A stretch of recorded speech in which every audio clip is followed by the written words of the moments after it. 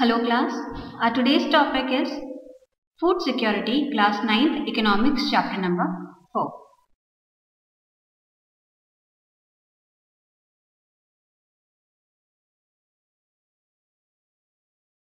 When we think about the term food, we are not able to relate it with the next term security because food for us may be a thing of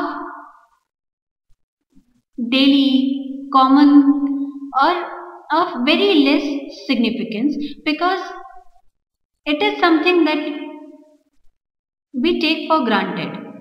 It is not anything that we find that needs to be uh, secured or needs to be uh, bothered about.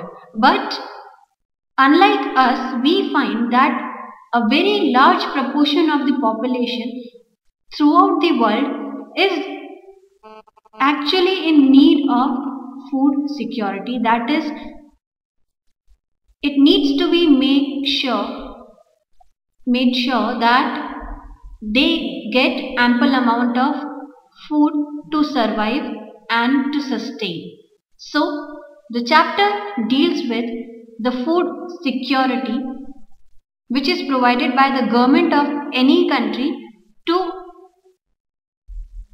its population. Now, to start with, when we study food security, it requires to be elaborated into three different dimensions. Availability, accessibility and affordability.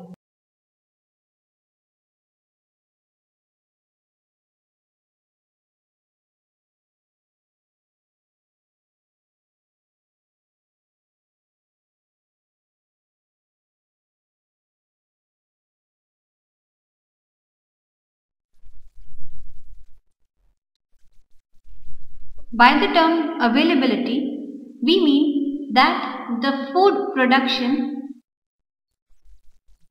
or the food available in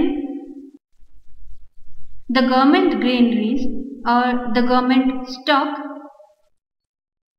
should be made available to the population.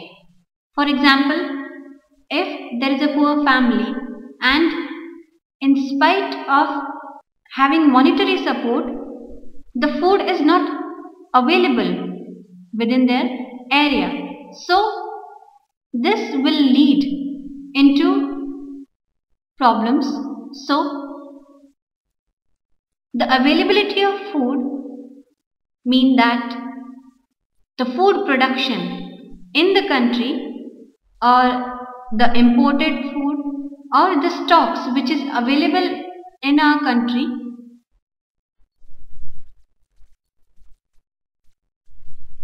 should be within reach of the people.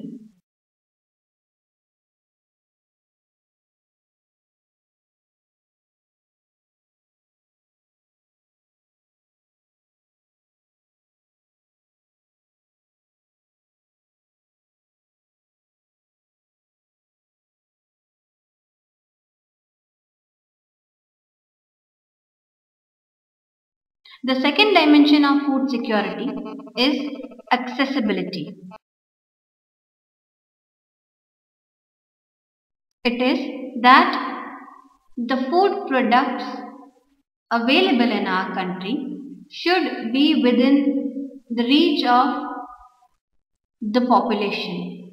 For example, if the people are living in a remote area and the markets are very far away, then we can say that the accessibility of the products is not very easy. So, the food should be within the reach of every person.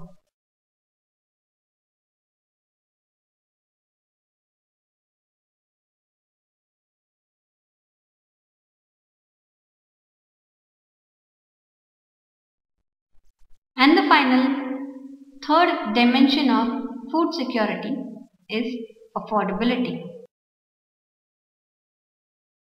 Suppose the food is available, it is also accessible that is it is within your reach but it is too expensive to afford then that is a very big problem for the population so the price or the rate should be low enough to come within the reach of the common person. But this affordability here should not be compromised with the quality of the food product because usually it happens that if the rate is decreased then the quality is also decreased. And here we are not talking about any gadget or any uh, product that we bought from the market we are talking about food and if the quality of the food is decreased then the nutritional value of that food will be very less and it will ultimately affect our health, our body. So, the food should be affordable and the food which is affordable should be of good quality.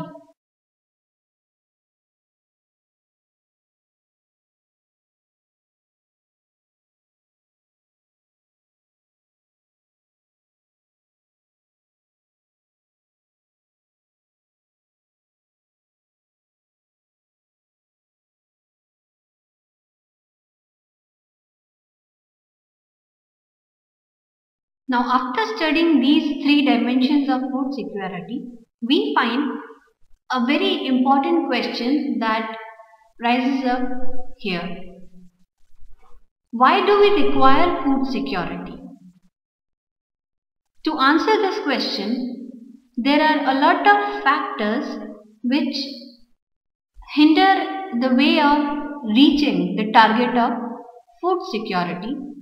Let's study them one by one.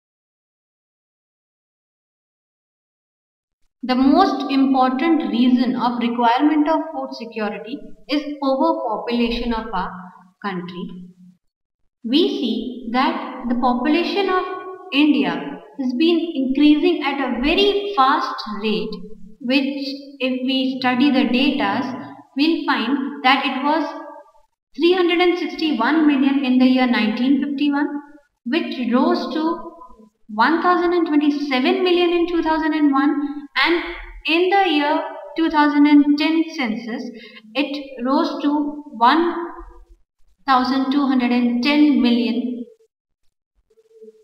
which is a tremendous rise in the number of people or the population of our country.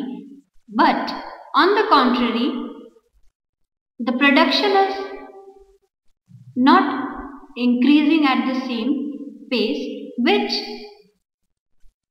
pushes us into the condition of lack of availability of food to every mouth.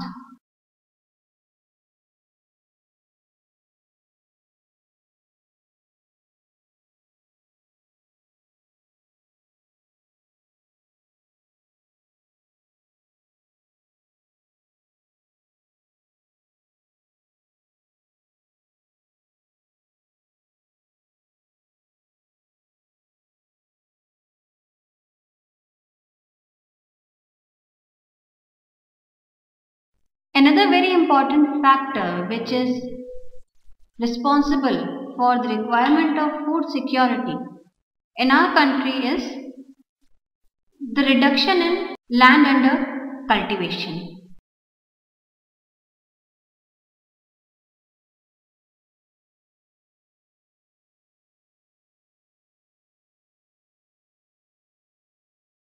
With the increase in the population, the demands have also increased and to fulfill these demands, construction of warehouses, factories, shelters has increased in a very large number which has ultimately resulted into reduction of land engaged in agricultural practices. So with that very less amount of land is used for agriculture and with constant use of the same piece of land for agriculture, the fertility level of the land has also reduced which has affected the production of food grains to fulfill the need of the population. So, this reduction of land under cultivation has decreased the amount of production in agricultural areas.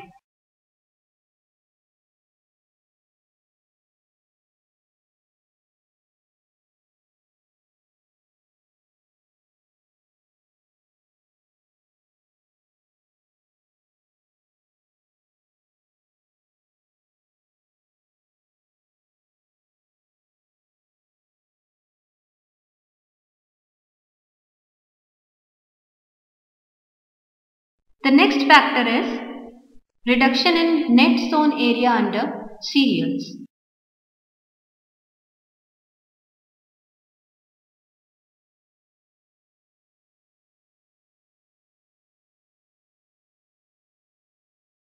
Like we studied in the earlier point that the land under cultivation is already decreasing. Now with this decrease, the limited availability of land is then again involved in production of other things than cereals or food grains.